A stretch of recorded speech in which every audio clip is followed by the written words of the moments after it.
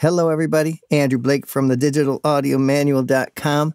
Today, let's talk about shortcuts, key commands, macros, and other such stuff. The idea of a key command in Cubase refers to basically hitting some kind of key on your computer keyboard and then triggering a function or action in Cubase. A typical example is hitting a particular computer key and then Cubase begins recording. Or another example is to hit some kind of computer key and then the mixer shows up in the project view. Cubase initially has all kinds of predefined key commands, but it is not unusual for a user over time to create their own key commands and possibly customize existing key commands that were already included in Cubase to begin with. Today, I want to share with you some of my particular key commands and macros so I can show you how I use these to speed up my workflow and at the same time help you to understand some of the ways you can build these, making use of basic options, but then taking it into the Project Logical Editor and things like that. Okay, the first one I want to show you is a fairly recent addition to my group of key commands. I've assigned one that allows me to select a track, hit the assign key command, and only have that track visible. And then I have another key command that I can hit, and all my tracks return back into view. In my workflow, that is something I do all the time, and there's so many reasons why I've been kind of moved to do that. One main reason is the way it clears up your desktop and gets things out of the way, especially when you have the lower zone down here. If you have a whole bunch of tracks to scroll through, it's a lot more work than if you just have one. Another thing that I have found many times when I start using automation, if I have all these tracks in place and I hit the right automation button, sometimes Cubase will actually jump to another track, do something in the middle of me trying to write my automation. There's a few other reasons as well. So, this idea of being able to just isolate a track quickly bring out all the other tracks has become an essential part of my workflow. Now, where Cubase has these kind of options, up at the top, there's a thing called the Track Visibility Agents. If you haven't explored this, it's worth your time to go through these options. They're all very good. There's ones that say show the tracks with data, show the tracks with the cursor position. There's advanced agents down here. And every one of these in different situations is really valuable. The problem is that they're in these menus. So when you're going through your workflow, and especially if you have a lot of tracks going on, by the time you come out of the track you're working on, or make sure that the one you are working on is selected, go up and find your visibility agent search through the list, pick the one you want, and then perform the operation, sometimes you're ready to quit your session. Finding out ways to assign these to a key command is a real essential thing. Where you can begin looking for these, go up to Edit, come down to Key Commands. As you look down your main list, you have one category that says Channel and Track Visibility. Again, this is worth your time to just explore all these options in general. But when you first open it up, you have all kinds of options for the agents. You can hide muted tracks, hide the selected tracks, and on and on. I went down to the one that said Agents Show All Channels. This is the one that's going to bring everything into view in case I have something hidden. And then I assigned a key to it. For me, I just put the number one here. What's nice about what Cubase did here, in case you assign a key that's already been used, it's going to tell you, and you can make the decision if you want to continue on. There's probably more than a few key commands that you have that you're never going to use the way they are, so why not make them into something that you will use? Next thing I did is I went down this list. I found the one that said agents show only the selected channels and or tracks, and I assigned the alt plus one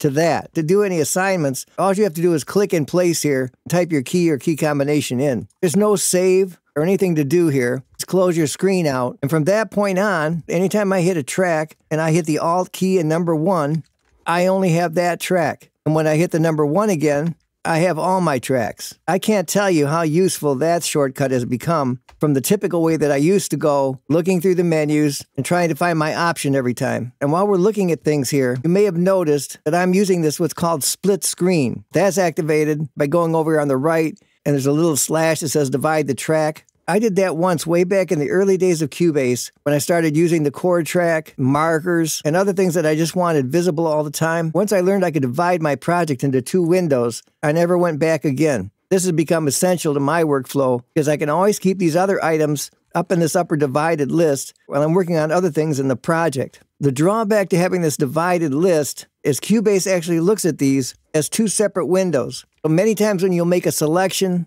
it will only cover one window or the other. You'll find yourself performing operations you think affect your whole project. When you're using a divided window, you have to pay attention to what window you're actually working in. I'm going to show you a couple of other commands coming up that actually override this, and those are great options to know as well. Okay, the next ones I want to show you We go back to our key commands. We look down, we have a category that says chords. Open that up. Again, you want to take some time and explore these. There's all kinds of great options in here. There's a couple that I use, but the one I want to point you to, there's one that says chord track and chords to MIDI. I've assigned Alt C to that. What that allows me to do is I create a track, make sure it's highlighted, and I have chords up on my chord track. I just hit Alt C on my keyboard, and I immediately have my chords moved onto my track. Backing out of that, if we go to the category called Project, again, fantastic options in here. But I have one down here that says duplicate the tracks. For that, I've assigned Alt D. For example, I go back to the track I just created with the chord track on it. I hit Alt D, and immediately I have a new track. This next one, for many years, I had my own macro that I had created, but with a new version of Cubase, they now decided this one was worthy to just include into the key commands. And the one I'm referring to, if you go back up to your edit menu, you have a category down here that says macros. Depending on what version of Cubase you have, the bottom here it says selected tracks to new folder and add a group channel. This one has a key command of Control G. I can't remember if I assigned that or it came that way, but again, to assign your key command, in this case, look for a category that says macro. And as you look down this list, select the tracks to new folder and group. It might be abbreviated, the wording, but right there you can add your key command. Select the tracks you want to group. In my case, I hit Control G give it a name. Then all those tracks are routed to their own group where I can easily change the volume. They're all placed in a folder, easily organized. Just a great option and macro to have. Sometimes an operation that you want to carry out for one reason or another just isn't available. Let me show you an example of that. Before us, we have a number of tracks. Some of these are audio tracks, and other ones are MIDI tracks that I've disabled. You can always right click on any track and choose the option to disable the selected tracks frees up resources, just gets tracks out of the way that you don't want to use, but maybe you don't want to delete them yet. But back up on our visibility agent, we actually have an option that says hide the disabled tracks. And if I click on that, it takes those tracks out of view, which is great. But when I press my number one button, bring all my tracks back into view to make another track selection, all my disabled tracks come into view as well. And I don't want to see those disabled tracks. But strangely, if we go to edit and down to our key commands, in the same category of agents, it has pretty much all the other choices. You can hide muted tracks, hide selected tracks, and on and on, all these agents. They didn't put one in here to hide the disabled tracks, which is exactly the function I want and only the function that I want. So what can we do in that situation? This is where we can make use of things called the logical editor, or in this case, the project logical editor.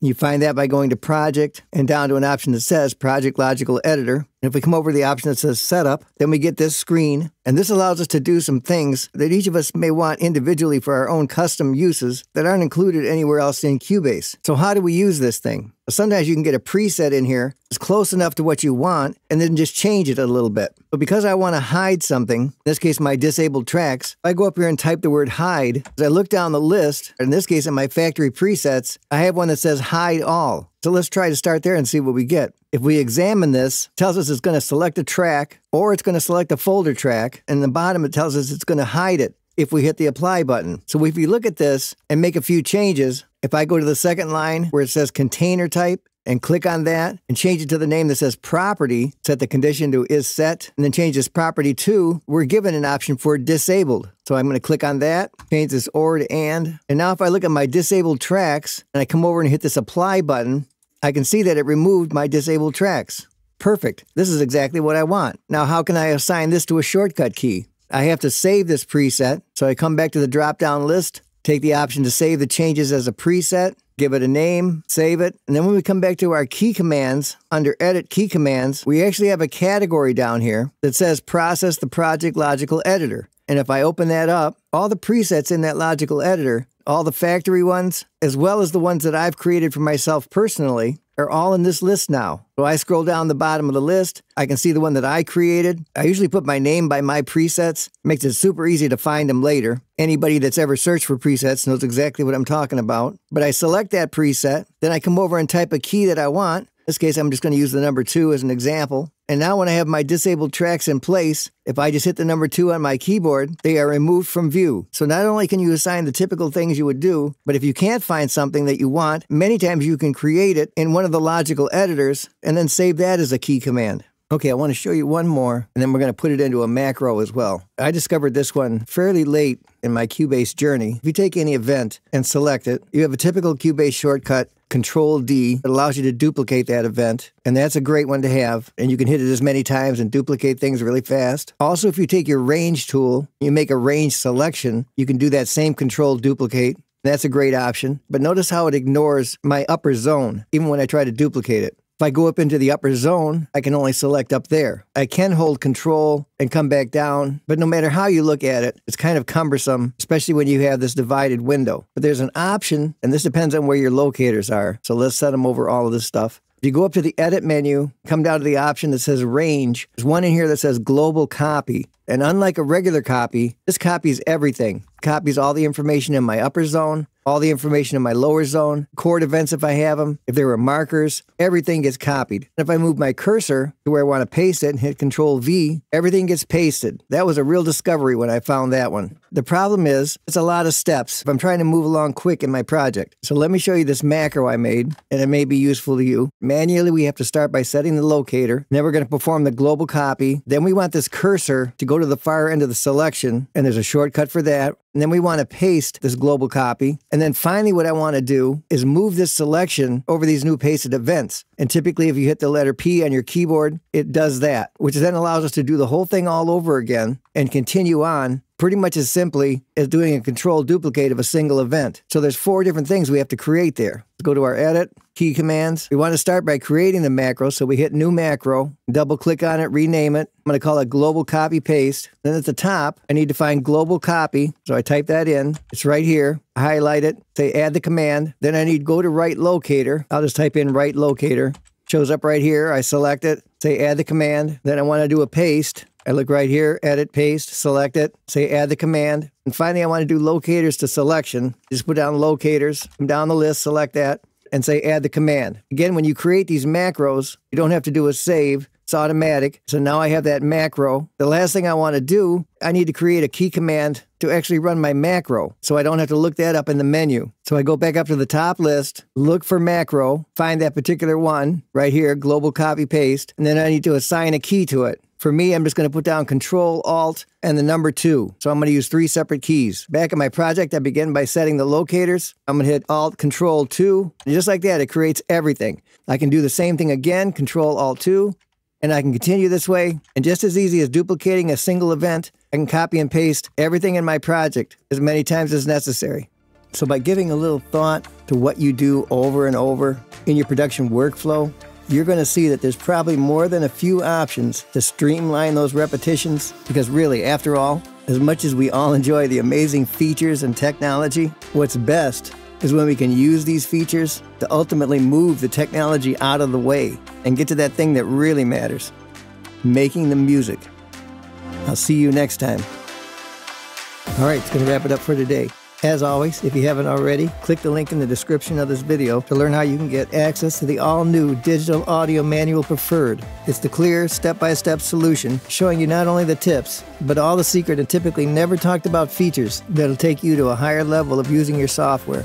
If you've been searching for an all in one solution to take you from start to finish and learning Cubase and Wavelab and other music software, this is exactly what you've been looking for. So click on the link in the description and come and be part of the clear path to a better learning experience. So today we took a look at the subject of shortcuts, key commands, and macros. I gave you some examples of my specific key commands. We talked about the difference between the stock key commands versus using your own customized key commands. We looked at how to take the Project Logical Editor, create a preset from that, and then incorporate that into a shortcut. And then I showed you the option of how you can do a global copy that can mimic a simple duplicate of an event.